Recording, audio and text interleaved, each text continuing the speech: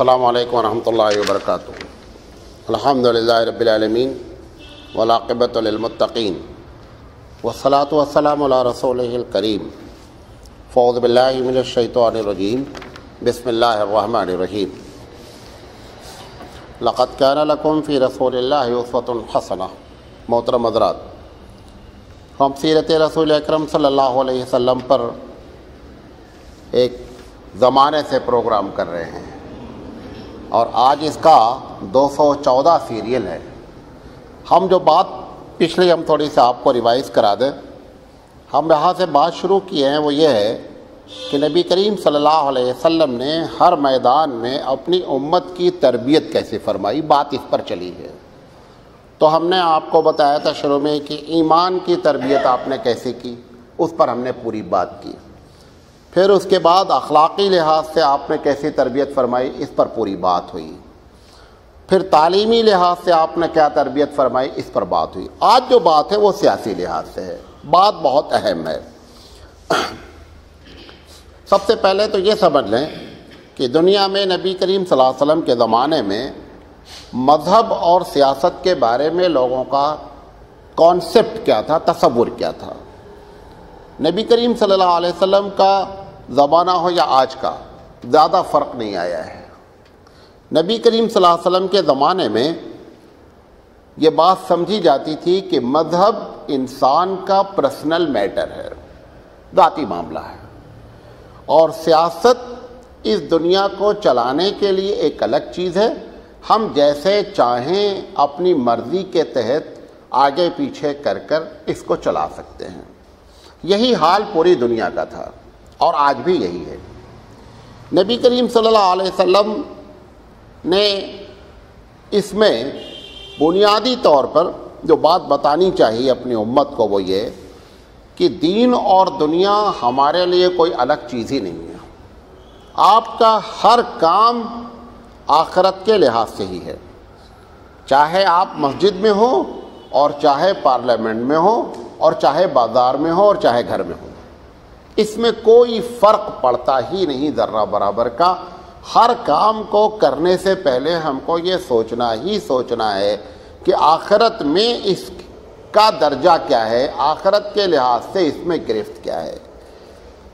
यही वजह है कि नबी करीम सल्लल्लाहु अलैहि वसल्लम ने इबादत के तस्वुर को, जिसको दुनिया इबादत कहती थी, उसको पूरी ज़िंदगी के लिए इबादत का नाम दिया। कि इबादत, नमाज़, रोज़ा, हज, जक़ात हर चीज़ इबादत है। कुरान मजीद ने, चूँकि अल्लाह के रसूल को हिदायत, अल्लाह के रसूल की तरबियत अल्लाह डायरेक्ट फरमाता है। अल्लाह ने अपने रसूल से कहा, वमा खलक़ुलजिन वलिनसाबुदून कि हमने तो इंसानों और जिनों को सिर्फ़ इबादत के लिए ही पैदा किया बल्कि कोई काम ही नहीं है। अब सवाल ये, काम तो हम बहुत से कर रहे हैं। तो अल्लाह के रसूल ने कहा कि सब इबादत है। यहाँ तक आपने फरमा दिया कि अगर एक आदमी अपनी ज़ाती ख्वाहिश की बुनियाद पर बीवी के मुँह में एक लुकमा डालता है, वो भी इबादत है। जो एकदम आखिरी बात थी। और सहाबी ने उस पर एतराज़ भी किया कि अल्लाह के रसूल, उसमें क्या इबादत है? अल्लाह के रसूल ने मनतिकी अंदाज में जवाब दिया कि अगर वो लुकमा गैर महरम को खिला देता तो गुनाह होता कि नहीं? का होता। का अगर उसने सही जगह खिलाए तो सवाब होना चाहिए। बात समझे? तो इससे अल्लाह के रसूल ने पूरी दुनिया से अलग ये बात बताने की कोशिश की कि मुसलमान की पूरी ज़िंदगी आखरत के लिए है, पूरी ज़िंदगी की हर फ़ील्ड इबादत है और उसका ताल्लुक आखरत से होना चाहिए। ये पहला कॉन्सेप्ट दिया। अब उसमें सियासत है। ये जो दुनिया अगेंस्ट है कि मज़हब और सियासत, बड़े बड़े जर्नलिस्ट और जीनियस ये बात बोलते हैं, बल्कि अब हम शर्माने हैं, शर्माते हैं, ये कहते हुए किसी गैर मुस्लिम के सामने कि साहब मज़हब और सियासत को एक साथ चलना चाहिए। हम भी उस वक्त उनके हाँ में हाँ मिलाते हैं, क्योंकि दूसरा वहाँ कोई मौजूद नहीं रहता है। तो मौलाना साहब जब उनके सामने फंस जाते हैं तो क्या बोलते हैं? हाँ बात आपकी सही है। एकदम गलत बात है। आप अकेले हो या जमात के साथ हो। आपका एक तस्वुर होना चाहिए। आप उसको ना समझा पाए। ये मुमकिन है। आप ये कहेंगे, भाई, ये बात आप जो कर रहे हैं, हमारे यहाँ तो ये है कि मज़हब और सियासत में कोई फ़र्क है नहीं।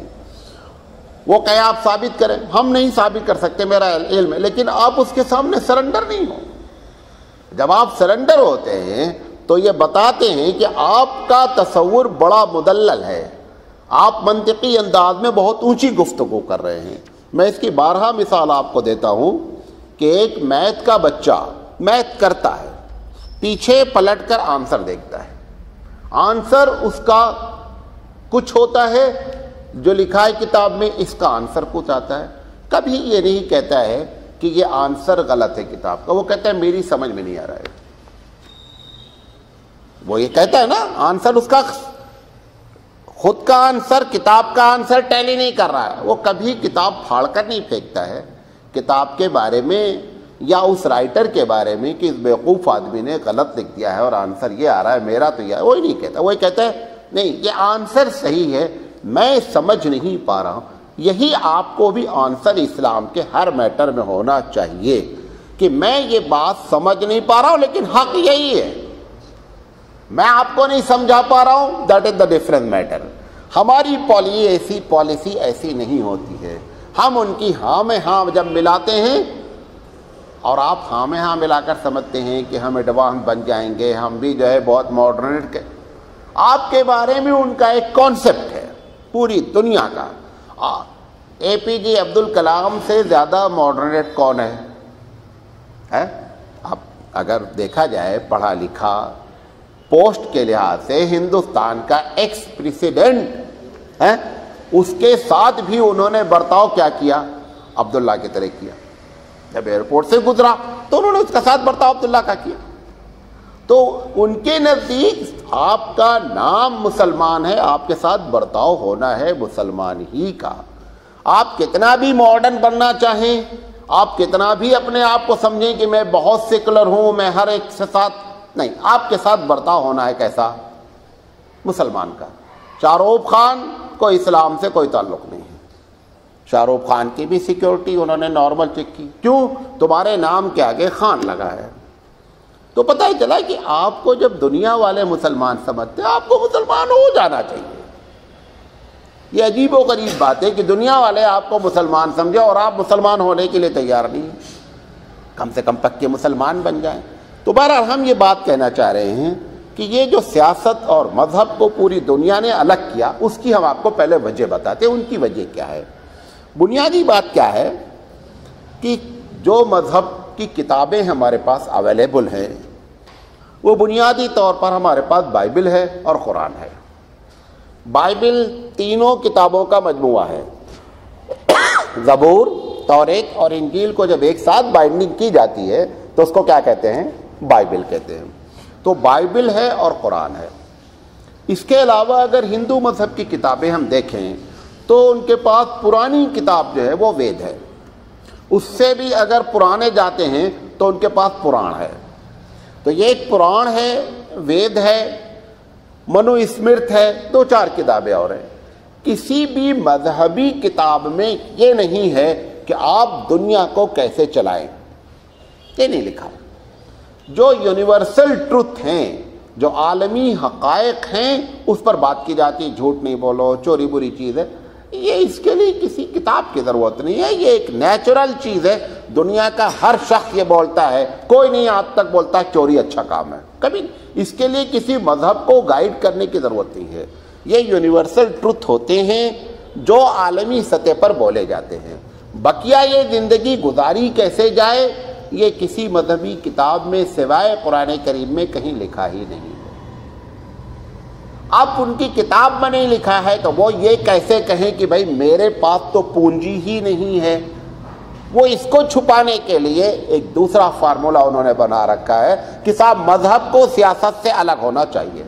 कहना ये चाहते हैं अंदर की बात कि हमारी किताब में लिखा ही नहीं है कि सियासत कैसे की जाए, लेकिन ये जुमला कहेंगे तो उनकी वीकनेस होगी।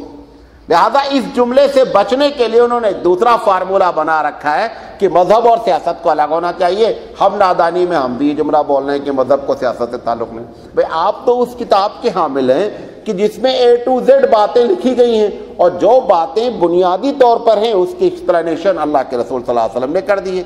आप उनकी हाँ में हाँ में क्यों रहे वो तो होशियारी में ये जुमला कह रहे हैं कि सियासत को मज़हब से अलग होना चाहिए ताकि उनकी वीकनेस ज़ाहिर ना होने पाए। मैं इसकी एक मिसाल इसके पहले भी आज देता हूँ।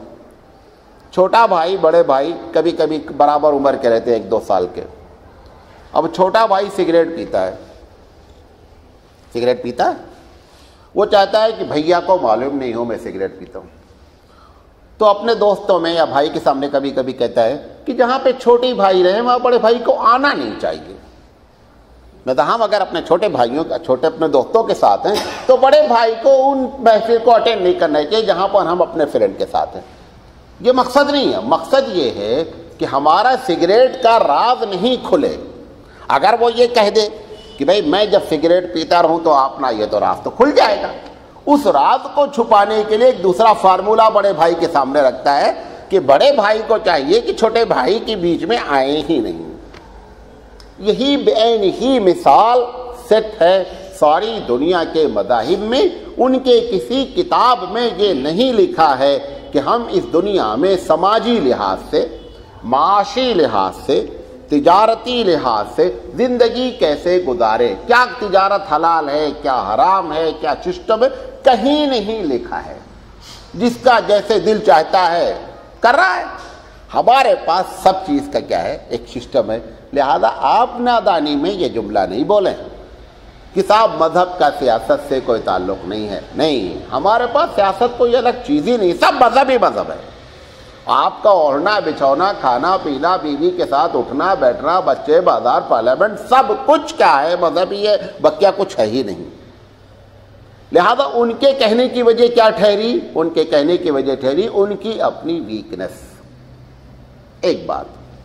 कुछ बातें तौरे से निकाली जा सकती हैं। अगर कोशिश की जाए तो निकाली जा सकती है। टेन कमांडमेंट्स में बहुत सी चीज़ें आती हैं।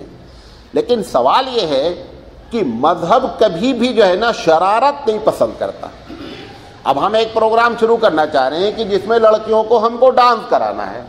किसी मज़हब में इजाज़त नहीं होगी, उनका इसलिए बेहतर क्या है? मज़हब को यहाँ तक आने ही नहीं दो, ताकि हम जो करना चाहें अयाशी तो अयाशी में सबसे पहली रुकावट किसकी होगी?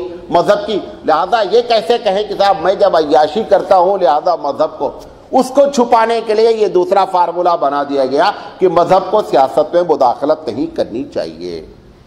ये दो बुनियादी वजह हैं। नंबर एक, उनकी वीकनेस नंबर दो, मफाद परस्ती। अब मफाद परस्ती में मैंने एक चीज़ के ऐसे बहुत सी चीज़ें मफाद परस्ती में, लेकिन ये बेस है जिसकी बुनियाद पर वो ये कहते हैं कि मज़हब को सियासत में दखल नहीं देना चाहिए।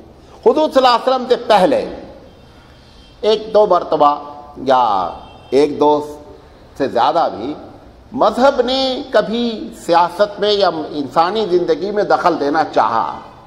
जब मज़हब ने इंसानी ज़िंदगी में दखल किया तो चूँकि उसके पास कोई फार्मूला था नहीं, गौर से सुनिएगा, वरना ये ऊपर से जाएगी बात जो कहने जा रहा हूँ।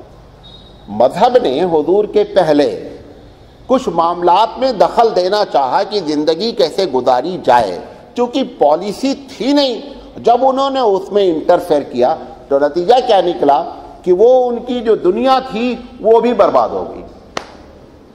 जैसे जब जब मज़हब में इंटरफेयर किया उनके यहाँ तो या तो वो जोगी बन गए, या सन्यासी बन गए, या राहिब हो गए या तो जंगल में चले गए। क्योंकि इतना डराया उन्होंने दुनिया के बारे में कि वो दुनिया को छोड़कर बेचारे क्या हो गए? दुनिया बेदार हो गए और फार्मूला ही बना डाला कि साहब, अल्लाह खुश ही नहीं हो सकता अगर दुनियादार रहोगे। हमारे यहाँ फार्मूला यह है। अल्लाह के रसूल ने फरमाया कि इन दुनिया मजराल आखरत। दुनिया तुम्हारी आखरत की खेती है। आखरत में जो कुछ तुमको मिलना है, यहाँ पे तुमने खेती क्या की, यही वहाँ काटना है। उन्होंने फार्मूला बना दिया कि साहब, दुनिया में रह करके आप आखरत वाले बंदे बन नहीं सकते। लिहाजा बेचारे जोगी हो गए, सन्यासी हो गए, बीवी छोड़ दिया, बच्चे छोड़ दिया, जायदाद छोड़ दिया, निकल गए मैदान में। तो जब इंटरफियर किया मामला मज़हब ने तो रिएक्शन ऐसा हो गया। अच्छा कभी कभी क्या हुआ? दुनिया वालों ने मज़हब में इंटरफेयर किया। ऐसा भी हुआ। जब दुनिया वालों ने मज़हब तो उनके पास भी कोई फार्मूला नहीं था कि मज़हब को कैसे डील किया जाए। तो मज़हब में अयाशी क्योंकि वो दुनियादार लोग थे। आप देखें अच्छी अच्छी मंदिरें, नंगी तस्वीरें होंगी। वो क्या चक्कर है?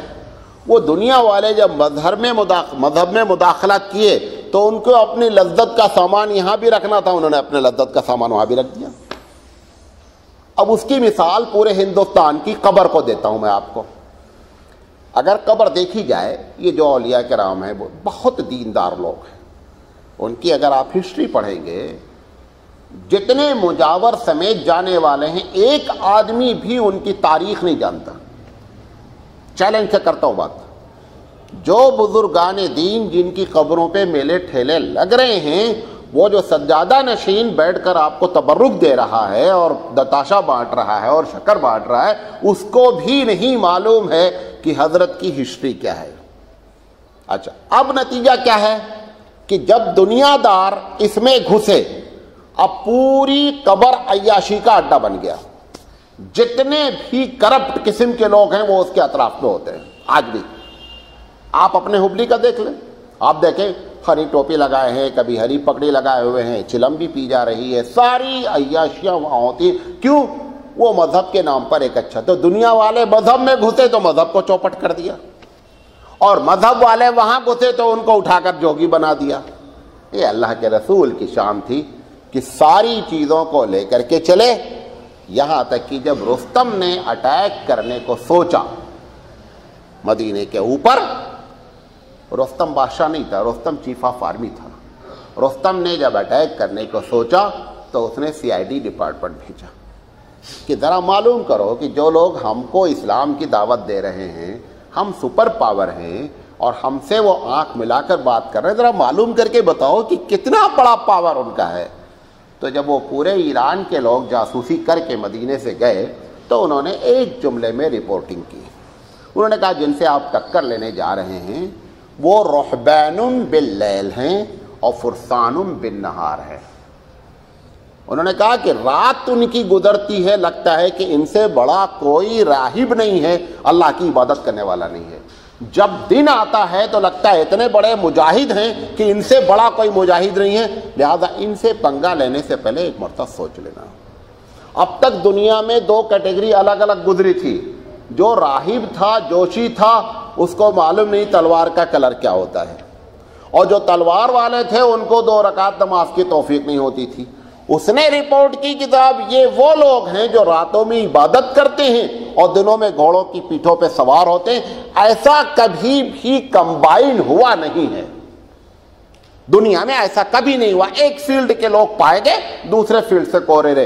ये पहली मरतबा ऐसा है कि इस मोहम्मद सल्लल्लाहु अलैहि वसल्लम ने उन्होंने जो रिपोर्टिंग की, इस नबी ने लोगों की तरबियत ऐसी कर दी है कि इस किस्म की एक टीम उनके पास है, लिहाजा हमला करने से पहले गौर कर ले। ये हकीकत है, वो अल्लाह के रसूल सल्लल्लाहु अलैहि वसल्लम की तरबियत की कि आपने अगर तहजद गुजार बनाया तो हज़रत उमर जैसा अमीरुल मोमिनीन भी पैदा किया, बना दिया कि दुनिया आज उसकी सियासत पर क्या करती है? रश्क करती है और उससे नसीहत हासिल करती है। तो हम ये बताना चाहते हैं कि जो दुनिया ने ये बात कही कि मज़हब का सियासत से कोई ताल्लुक नहीं होना चाहिए, इसकी दो बुनियादी वजह है। नंबर एक, उनकी वीकनेस नंबर दो, मफाद परस्ती। ठीक है? यहाँ तक बात क्लियर हुई? अच्छा। कुछ लोग बास किताब पढ़ते हुए ये बात सामने आई, हो तक तक कभी आपको वो किताब मिल जाए तो आप घबरा जाएँगे कुछ लोगों का अपना कहना यह है कि अल्लाह के रसूल सल्लल्लाहु अलैहि वसल्लम के दिमाग में हुकूमत का कोई क़याम नहीं था। ये अचानक कुछ ऐसे अफराद इनको मिल गए कि आपने सोचा अब हुकूमत कायम कर ली जाए। एकदम गलत कॉन्सेप्ट है। ऐसा नहीं हुआ है कि खुदा न खास्ता बाई चांस मदीना पहुँचे और दो चार दस हज़ार लोग इकट्ठा हो गए और आपने फट से क्या कर दिया कि अब हुकूमत कायम कर नहीं। ये हम ज़रूर कहते हैं। अल्लाह के रसूल की तालीम और तबलीग का मकसद हुकूमत का क़्याम नहीं था। अल्लाह की तालीम और तबलीग का मकसद रज़ा इलाही था। रज़ा इलाही जिन जिन चीज़ों से राज़ी होता था, उनके लिए सियासत की ज़रूरत थी। अल्लाह राज़ी होता उसका कानून ज़मीन पर चलने के लिए, उस कानून के निफाज के लिए पावर चाहिए। पावर आता है सियासत से, लिहाजा सियासत इस्लाम का जुज इसलिए बना। तो ये जो बात कही जाती है कि नहीं साहब, ये अचानक ऐसे उनके पास कुछ अफराद तैयार हो गए, जिसकी वजह से आपका मूड हो गया कि अब हुकूमत कायम कर दी जाए, एकदम गलत बात है। अब आपको हम इस बात पर कि अल्लाह के रसूल सल्लल्लाहु अलैहि वसल्लम के पहले दिन से प्लानिंग में क्या था, इस पर अपनी दलील देते हैं इंशाल्लाह, और आगे बात करते हैं। देखें। कई दलीलें मैं देता हूँ ताकि आपको इस पर आना चाहिए। हदूस वसल्लम मक्के में तबलीग का काम कर रहे थे। अबू आमिर नाम का एक शख्स था, बूढ़ा आदमी था, बड़ा जहीन आदमी था। उसने अल्लाह के रसूल को ऑफ़र किया कि मैं पूरे कबीले के साथ मुसलमान होना चाहता हूँ। जिस वक्त उसने ऑफ़र किया, उस वक्त टोटल मुसलमानों की पॉपुलेशन सौ के अंदर थी।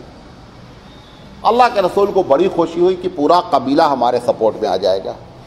तो उसने कहा, लेकिन मेरी एक शर्त उन्होंने फरमाया कि बताओ, क्या शर्त है? उसने कहा कि आपकी दावत को मैं बहुत गौर से ऑब्ज़र्व कर रहा हूँ।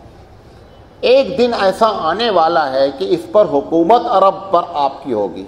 लिहाजा मेरा नाम आप नॉमिनेशन के तौर पर डाल दीजिए कि मेरे बाद ये बूढ़ा खलीफा होगा, अगर ये शर्त आपको मंजूर है तो मैं इस्लाम कबूल करने में तैयार हूँ।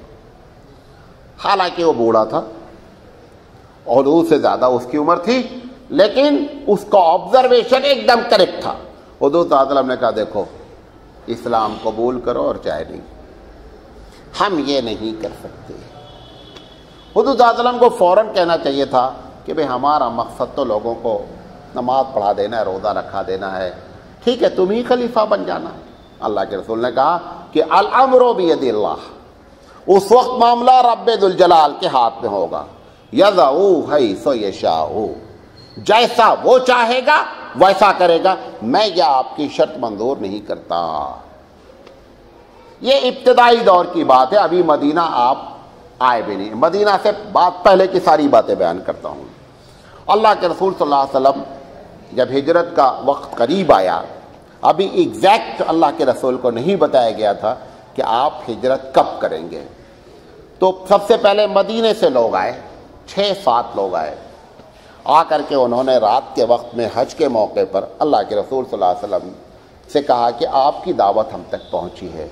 और हमको ये समझ में आ रही है बात कि आप जो दावत दे रहे हैं, ये हक दावत है। इनको कैसे मालूम हुआ? मदीने वालों को वो आपको बता देता हूँ। क्योंकि वो शैतान क्रॉस करता कि मक्के वाले को तो मालूम नहीं, इनको कैसे मालूम हो गया, वो बात सुन लीजिए यहाँ पे दो कबीले थे मदीने में, एक का नाम औस था, एक का नाम खदरत था। ये दोनों यहूदी थे। ये जब आपस में लड़ते थे तो एक इसमें कमज़ोर था, एक बड़ा डापट किस्म का था। तो वो कमज़ोर वाला बार बार उससे बोलता था ताकतवर से कि घबराओ नहीं, तौरेत में लिखा है कि एक नबी आने वाला है और उसका एरिया इस एरिया में बताया जाता है। वो नबी जब आ जाएगा ना, हम उस पर हाथ पर ईमान लाएँगे और फिर तुमको बताएँगे कि हमारी ताकत कितनी है। तो ये बार बार दोनों कबीले सुनते रहते थे। तो इनके छह आदमी, जब इन्होंने हजूर के बारे में कुछ सुना तो वो उन्होंने समझ लिया कि साहब ये वही नबी है। तो उन्होंने सोचा कि कब इसके कि वो लोग जाकर ईमान लाओ, पहले जाकर ईमान ले आओ। लिहाजा वो छः आदमी आकर हजूर के हाथ पर ईमान ले आए। तो उनको नॉलेज थी कहाँ से? तौरेत से, अपनी किताब से। और वो आपस में लड़ते थे तो ताना देते थे।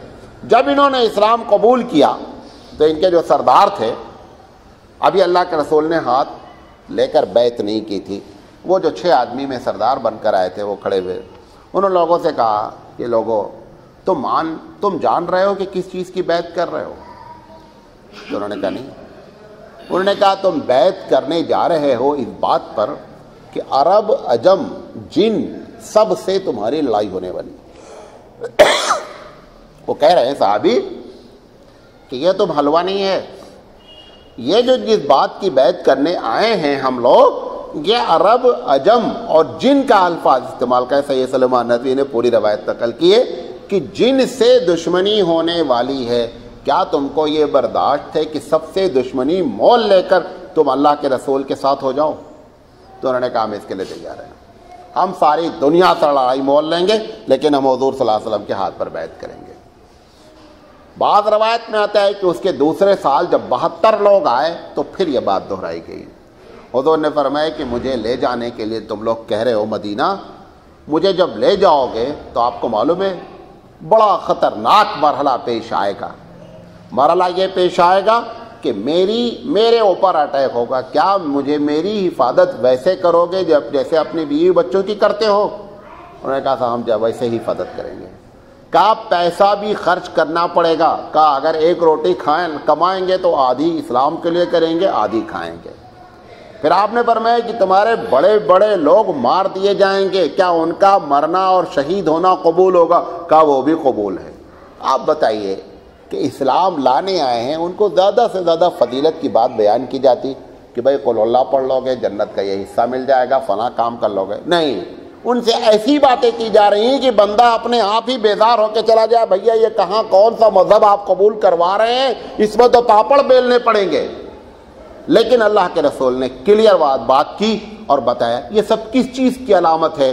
कि जब इस्लामी हुकूमत के क़्याम की बात आएगी तो ये सारे मराहल खड़े होंगे और मुखालफत अपने स्ट्रीम पर जाएगी। ऐसे मौके पर तुमको क्या करना है? हमारा साथ देना है। अभी मद, अभी मदीना पहुँचे नहीं हैं।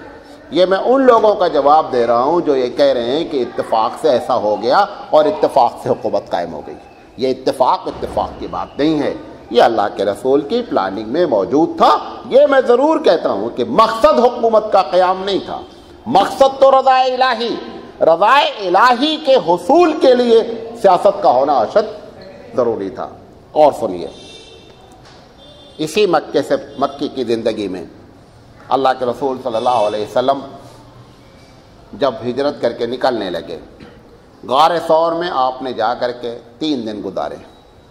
सुराका ने पीछा किया जब आप निकले तीसरे दिन। लंबी चौड़ी बात है, सब आपको बता चुका हूँ। सुराका जब हुजूर के करीब पहुँचे और उनका घोड़ा धस गया, उन्होंने अबू बकर सिद्दीक रज़ी अल्लाह तु से हजूर ने फरमाया, कौन आ रहा है? कहा, सुराका आ रहा है, कहा आने दो। सुराका जब आए, उन्होंने कहा, मैं आपको अल्लाह का रसूल मानता हूँ, ला मोहम्मद रसूल आप मुझे एक पर्ची लिख दें, क्योंकि मैं बहुत बदतरीन काफिर मशहूर हूँ। जब मैं हिजरत करके मदीना आऊँगा तो लोग मेरे बारे में अच्छी राय नहीं रखेंगे। लिहाजा पहले से अमान नामा लिख दे मुझे। अबू बकर से हजूर ने कहा, इनको अमान नामा लिख दो। लिख दिया गया जब वो जाने लगे तो हजूर ने उनको खुशखबरी सुनाई, सुराका एक वक्त आने वाला है। आज ठीक है, मैं छुप करके भाग रहा हूँ। अपने बाप की प्रॉपर्टी पर मुझे कब्जा हासिल नहीं है। मैं रातों रात निकला हूँ और तीन दिन तक यहाँ छुप करके भाग रहा हूँ। लेकिन याद रखना, एक वक्त आने वाला है, सुराका, कि कैसर और किसरा के कंगन तेरे हाथों में होंगे। ये कैसर और किसरा उस वक्त की दो सुपर पावर ताकतें थी। दोनों के टूटने की खुशखबरी वो बंदा दे रहा है जो रात में भाग रहा है। रात भागना का लफ्ज नहीं इस्तेमाल करने, रात में जान अपनी बचा करके गोया अल्लाह के हुक्म से जा रहा है। लेकिन हकीकत तो यह है ना कि खौफ है, वरना खुलेआम जाया जाता। रातों रात निकलने वाला बंदा खुशखबरी सुना रहा है पूरी उम्मत को कि कैसर किसरा के ताज तेरे हाथ में होंगे। ये बता रही ये बात कि इस्लाम कोई खुदा न खास्ता चंद चीज़ों का नाम नहीं था। इसको पूरी दुनिया पर यह बात बतानी थी कि अल्लाह की ज़मीन पर अल्लाह का कानून जब नाफिज होता है तो कितना अमन और अमान होता है। उसके लिए अल्लाह के रसूल सल्लल्लाहु अलैहि वसल्लम को अल्लाह ने सेलेक्ट फरमाया कि इस नबी के ज़रिए ये सारा काम होगा। अल्लाह ताला ने करके दिखलाया। तो नबी करीम सल्लल्लाहु अलैहि वसल्लम मक्की ज़िंदगी से लेकर के आखिर तक इस बात की तरफ़ पूरी इशारा करते रहे और आखिर में अल्लाह ने उनके हाथ के ज़रिए झंडा इस्लाम का गड़वा दिया। तो सियासत और मज़हब, ये दोनों अलग चीज़ें कतई नहीं हैं। आखिरी बात कह करके मैं अपनी बात ख़त्म करूँगा। इस्लाम को सियासत की ज़रूरत क्यों है? इस बात को समझने की कोशिश करें। हमने इसमें चार पॉइंट लिखे हैं। चार वजह है कि इस्लाम को सियासत चाहिए। नंबर एक देखें, इस दुनिया का जो क्रिएटर है, इस दुनिया का जो खालिक है, वो रब जलाल है। हमारे बारे में सबसे ज़्यादा अल्लाह जानता है कि हम कैसे मेंटेन रहे इस दुनिया में। है ना? एक मशीन बनाता है, छोटा सा मोबाइल, एक इंजीनियर डिज़ाइन करता है, उसके साथ एक बुकलेट भी रखता है। कि आप हाउ टू ऑपरेट इस आप मोबाइल को कैसे ऑपरेट करेंगे, उसमें सारी बातें लिखता है, उसकी वीकनेस भी लिखता है, सब कुछ लिखता है, ताकि आप मशीन को सही इस्तेमाल कर सके। हम सरापा मशीन हैं। हम सरापा मशीन है। वो एक मशीन है। भाई, जब मोबाइल करता क्या है? हमारी बात को दूसरे तक पहुंचाता है ना? आपका भी कान सुनता है। तो कान को कैसे इस्तेमाल किया जाए, इसके लिए बुकलेट तो चाहिए ना? जबान हमारी टेप रिकॉर्ड है, इसके लिए भी बुकलेट चाहिए। आँख हमारा कैमरा है, इसके लिए भी बुकलेट चाहिए। वो तो एक एक मशीन बनाए, उसने एक ही में पच्चीसों बना रखी इन सबको ऑपरेट कैसे किया जाएगा और कंट्रोल कैसे किया जाएगा, दोनों बातें हैं। वो कहता ना कि अगर ज़्यादा प्रॉब्लम हो गई तो रीसेट का बटन दबा दो, फिर तो चालू हो जाएगा मामला। ऐसे ही आप और हम कंट्रोल कैसे होंगे? जब क्राइम होंगे, जब बदमाशियाँ होंगी तो कंट्रोल कैसे होंगे? अब मिसाल के तौर पर दिल्ली का जो वाक्य, चल आप मुझसे ज़्यादा जान रहे सारे लोग डिमांड क्या कर रहे हैं? तो साहब, वो छह आदमी को फांसी दे दी जाए। है? जिसको तुम फांसी देने की बात कर रहे हो, चौदह सौ साल पहले उसने कहा कि उसको मैदान में कत्ल कर दिया जाए। क्या पता चला? तुमने कानून बनाया था कि रेप में सजा आपने फांसी की नहीं रखी, मर्डर की नहीं रखी। आखिर फितरत ने वही मुतालबा शुरू किया जो 1400 साल पहले रसूल अकरम के ज़रिए लोगों ने बात कही थी। क्यों? क्योंकि उसने हमको बनाया है, उसे मालूम है कि अगर ये क्राइम करेगा तो कंट्रोल कैसे होगा। उसी को मालूम है कि रीसेट इसको कैसे करना है। तो सबसे पहली वजह है कि आप सियासत की ज़रूरत क्यों है? क्योंकि खालिक इस पूरी दुनिया को जिसने पैदा किया है, उसका कानून ही जब ज़मीन पर चलेगा तो ज़मीन में सुकून होगा। इस ज़मीन पर बदसकूनी की बुनियादी वजह खालिक के खालिक के कानून की नाफरमानी है। जितना भी आप कानून, कौन ऐसी पार्लियामेंट इस वक्त दुनिया की है कि जो हर साल बिल पेश नहीं करती कि कानून चेंज किया जाए? क्यों? इंसान कानून बनाएगा, उसे मालूम नहीं क्या होना है, फिर बिल चेंज करेगा। अल्लाह ने तुमको बनाया है, तुम एक मशीनरी हो, तुम्हारे बारे में सबसे ज़्यादा वो जानता है, उसका कानून ज़मीन पर नाफिज होने के लिए सियासत चाहिए। इस वजह से बुनियादी तौर पर सियासत की ज़रूरत है, वरना इस्लाम को सियासत से दिलचस्पी नहीं है। अगर उसका कानून नहीं होगा तो ये बसों में रेप के केस ऐसे ही होते रहेंगे। आपको हैरत होगी इतना बड़ा हंगामा चल रहा है, वो लड़की मर भी गई और कल फिर केस हो गया। कल उसी दिल्ली में और उसी बस मतलब बस ही का केस फिर कल हुआ। क्यों? क्योंकि कानून तुम्हारा है, कंट्रोल हम नहीं हो पाएँगे। हमको पैदा करने वाले का पनिशमेंट ही कंट्रोल कर सकता है।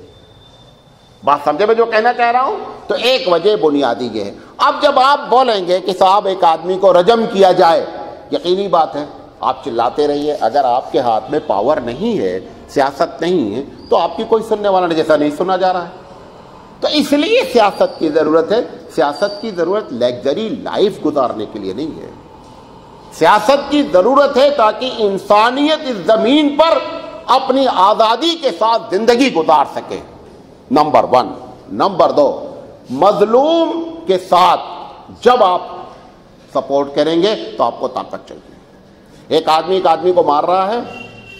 आप चाहते हैं कि नहीं साहब, जालिम को पकड़ा जाए। पकड़ने के लिए आपको क्या चाहिए? ताकत चाहिए। आप उसको हंस करके, मुस्कुरा करके, नहीं मारना अच्छी बात नहीं है। आपकी बात सुनेगा वो। ताकत चाहिए। निज़ाम, नज्म डिसिप्लिन दुनिया का कायम होता है ताकत से और ताकत आती है सियासत से। हम लोग क्या समझ रहे हैं? हम बड़े दीनदार हैं, टोपी लगाए हैं तस्बी पढ़ रहे हैं। देखो, याद रखो, ड्राइवर ने पी रखी है। ड्राइवर ने पी रखी है। तुम्हारी टोपी और तस्बी ड्राइवर के रुख को नहीं फेर सकती। यहाँ पीने वाले एक दो बैठे होते, बस में चल जाती। अगर टोपी वाला वहाँ होता, कहाँ? ड्राइवर की जगह पे तो गाड़ी सही जगह चली जाती। आप ये समझ रहे हैं कि हम टोपी लगाए बैठे बड़े नेक हैं लाजा ड्राइवर साहब। वो पियक्कड़ है, जहाँ चाहेगा वहाँ ले जाएगा, आपकी मर्ज़ी नहीं चलेगी। वो ड्राइवर को बदलने के लिए किसकी ज़रूरत है? सियासत की, और सियासत इसीलिए चाहिए कि गाड़ी सही रुख पर चलती रहे, वरना गाड़ी चलाने का हमको शौक नहीं है। वो पियक्कड़ इन सब टोपी वालों को लेके डूबेगा। आप तो समझ रहे हैं, बड़े दीनदार है ना? क्योंकि वो लेके जाएँगे गढ़े में, और इसीलिए आप डूब रहे हैं। ये जो हमारा, हम जो डूब रहे हैं, उसकी बुनियादी वजह यही है। डूबने से मुराद क्या है? कि हमारी इज़्ज़त खाक में है। हम भले अपने डाइनिंग हॉल में बैठ करके जो है मज़े कर लेते हो, लेकिन मिनहसुल कौम as a unity of a Muslim हमारी कोई इज़्ज़त नहीं सको दुनिया में। कुछ नहीं कर सकते आप। आप हक बात को नहीं कहने की पोजीशन में हैं कि ये हक है। ये नहीं कह सकते कि ये हक है। हक भी कहने के लिए आपको क्या है? ताला है कि हक नहीं बोलना। आपके सामने से एक आदमी को अरेस्ट कर लिया जाता है। आप खामोश हैं, कुछ नहीं बोलते। ये जो चीज़ें हैं, इसके लिए सियासत चाहिए ताकि जुल्म नहीं होने पाए। ये तीसरी बुनियादी वजह है। और तो आखिरी आखिरी वजह यह है कि अगर सियासत पर, अगर इस्लाम, सियासत दोनों मिल करके चले तो जितनी लग्जरी लाइफ है, सब खत्म हो जाएगी। आपको मालूम है, कभी आप हिंदुस्तान की सियासत पर, आप इनके, पूरी टोटल इनकम का कितना बड़ा हिस्सा आप यकीन नहीं करें कि चंद लोगों पर खर्च होता है। एक बड़ी तादाद तो मिलिट्री खा लेती है। बड़ी तादाद। मतलब अगर वो पैसे जो खाती है, अगर वो पैसे उठा करके पब्लिक के काम में हेल्थ पर है, एजुकेशन पर है, लगा दिया जाए तो हिंदुस्तान सुपर पावर बन जाए हिंदुस्तान का सारा पैसा बेतुकी जगह जाता है। अभी आप डेली सिर्फ़ पीएम की सिक्योरिटी निकाल लेंगे, सीएम की सिक्योरिटी निकाल लेंगे तो आपको हैरत होगी, पूरे शहर का खर्चा एक आदमी के ऊपर जा रहा है। ये जो लग्जरी लाइफ है, ये इसकी वजह ये है, क्योंकि मज़हब का कंट्रोल सियासत पर नहीं है। लिहाजा मज़हब इस वक्त मफाद परस्ती का नाम है।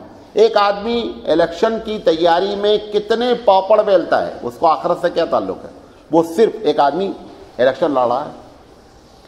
आप एमएलए या एमपी की पूरी तनख्वाह पाँच साल की निकाल लीजिए। वो तना वो पाँच दिन में खर्चा करता है इलेक्शन के टाइम में। कहाँ से खर्चा करता है? और क्यों खर्चा करता है? उसे मालूम है कि हमका इसको सौ गुना कहाँ से है? इलेक्शन जीतने के बाद निकाल लेना है। ये पूरा सिस्टम करप्ट है। लिहाजा इस्लाम जो चाहता है कि सियासत में दखील हो, ताकि सियासत लग्जरी आइटम बनने के बजाय पब्लिक को फ़ायदा हो, मजलूम की दाद रसी हो, अल्लाह का कानून हो, ताकि उस पनिशमेंट को नाफिज किया जाए जिससे हम कंट्रोल में आते हैं। वरना ऐसे ही गाड़ी चलती रहेगी।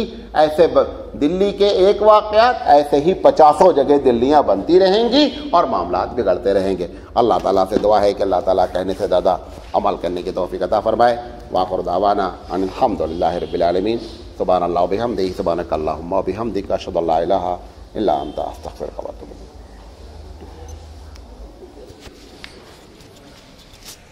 ये हमारे में रख